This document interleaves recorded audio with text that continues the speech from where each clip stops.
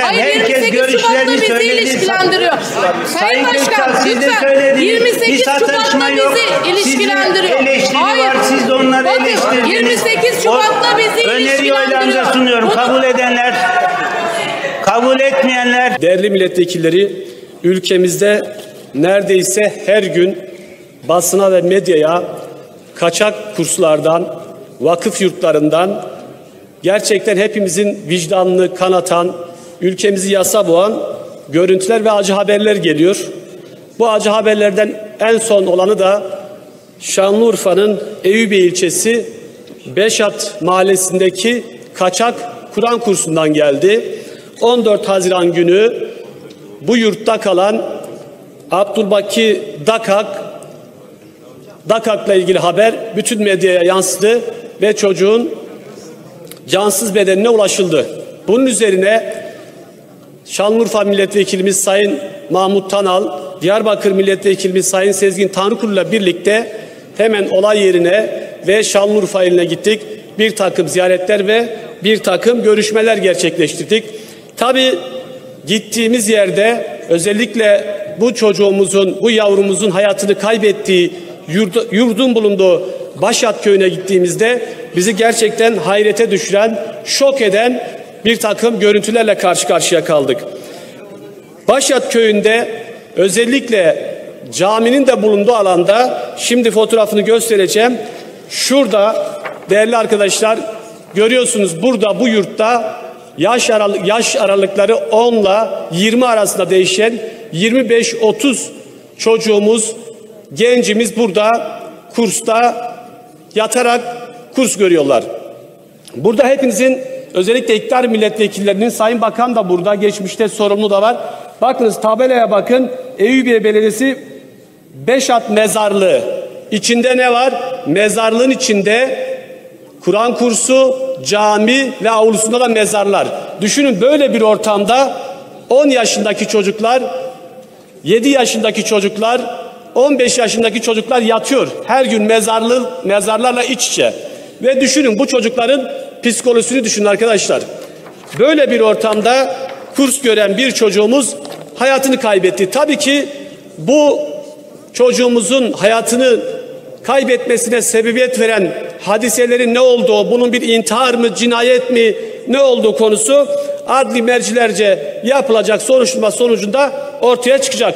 Ancak Türkiye Büyük Millet Meclisi'nin bu konuda yapması gereken işler var. Değerli milletvekilleri, biliyorsunuz anayasamıza göre şu gördüğümüz anayasamıza göre hepsinin, hepimizin üstünde yemin ettiğimiz anayasamıza göre eğitim kurumları devletin gözetim ve denetim altında yapılır. Peki ben şimdi size gösteriyorum. Böyle bir kursu kim denetledi? Devlet adına kim denetledi? Öyle anlaşılıyor ki kimse denetlememiş. Çünkü burada eğer bir denetim olmuş olsaydı vicdanlı hiçbir kimse bu kursta bu yerde mezarlığın içinde çocukların kalmasına izin vermezdi. Belli ki kimse denetlememiş. Peki iktidar olarak, hükümet olarak siz bu konulara ilişkin özellikle kaçak yurtlara ilişkin görevlerinizi yapıyor musunuz? Yapmıyorsunuz. Çünkü biz bunu nereden anlıyoruz?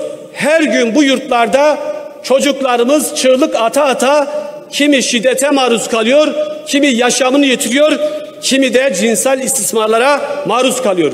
Bu nedenle bugün grubumuzun vermiş olduğu önerge çok anlamlı ve çok kıymetli. Bütün gruplardan çocuklarımızın geleceği için, bu ülkenin geleceği için bu önergeye destek olmalarını bekliyoruz. Bu konuyla ilişkin hükümet olarak sizin gerçekten hatanız da var. Bu çocukların ölümünden siz sorumlusunuz. Nasıl mı? Kaçak eğitim kurumlarına ilişkin Türk Ceza Kanunu'nda düzenleme vardı. 2005 yılında cezayı düşürdünüz. 2013 yılında Türk Ceza Kanunu 263. maddeyi tamamen yürürlükten kaldırdınız. Ne oldu bu yürürlükten kalkmayla birlikte bu işlerin önü açıldı. Aklına esen istediği yerde 5-10 çocuğu alarak ben bunlara kurs veriyorum, ben hocayım dedi ve bu çocuklar bu kaldıkları yerlerde büyük tehlikelerle karşı karşıya kaldılar. O zaman yol yakınken bir daha bu tür hadiselerin yaşanmaması için, çocuklarımızın ölmemesi için, Aladağların yaşanmaması için bu parlamentoya 28. döneme iş düşüyor. Gelin önce bu konuyu bir araştıralım. Akabinde de mevzuattaki boşluğu doldurmak adına gerekli yasal çalışmalar Evet sözlerinizi tamamlamak üzere bir dakika veriyorum. Bütün gruplara çağrı yapıyoruz. Gelin bu araştırma önergenize destek olun. Bu kaçak yurtlardaki sayılı durumu, vatandaşlar hangi koşullar altında çocuklarını bu yurtlara gönderiyorlar?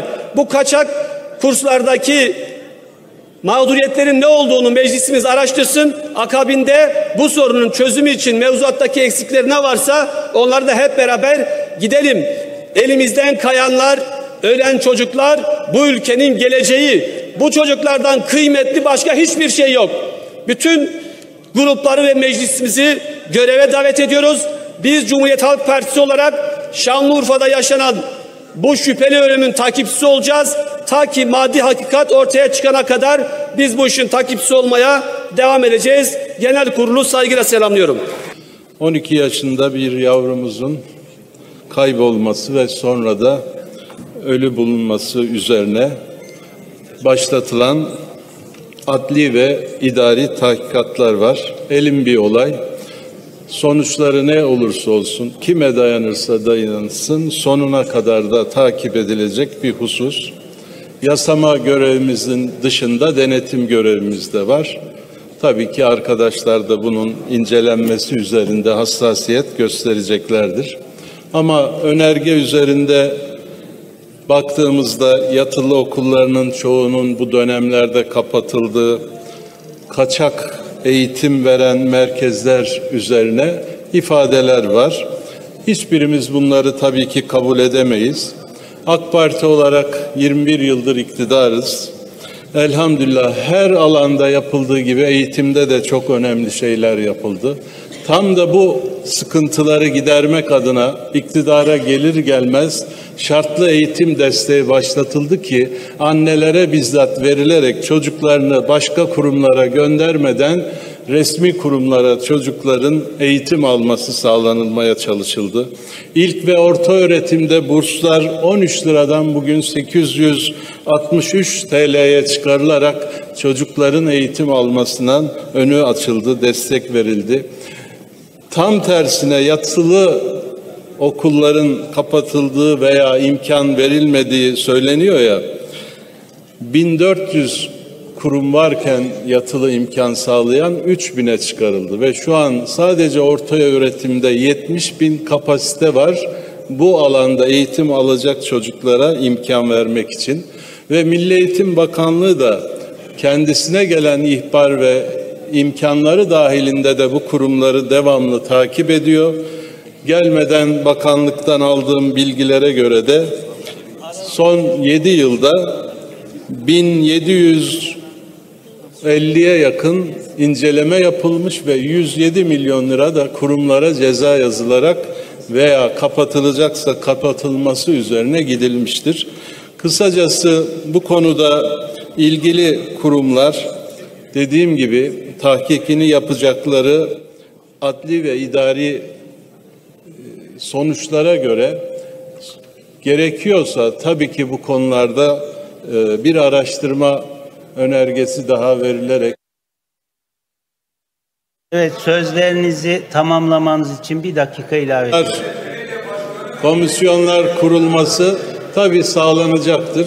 Keşke bu işleri kökten bozulan o 28 Şubatlara gelebilsek de o kapatılan okulları ve milleti farklı yerlere gönderen o kötü e, şartların hala düzeltilmeye çalışıldığını ve bu iktidarın her alanda olduğu gibi eğitimde de nerelere getirdiğini görüyoruz. Sayın Tanal her zaman gibi konuşacak, anlatacak ama millet AK Parti'ye oy vererek yine 22. yılında 5 yıl daha imkan verecek.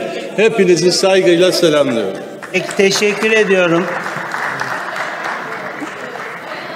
Sayın Hatip, Ya- iktidarların döneminde bu kaçak yapıların, kaçak okulların bilakis kapatıldığını, e, azal sayılarının azaldığını belirtti. Bununla ilgili önergede Efendim? söz istiyoruz. Sayın Başkan bir şey yok görüşlerini açıkladı. Hayır. Yani burada bir sataşma burada yok. Genel kurula, AK Parti burada genel kurula doğru bilgi vermek gerekiyor. Efendim Çünkü o istediği bilgiyi verebilir. onun- Biz onun o bilgileri ölçemeyiz.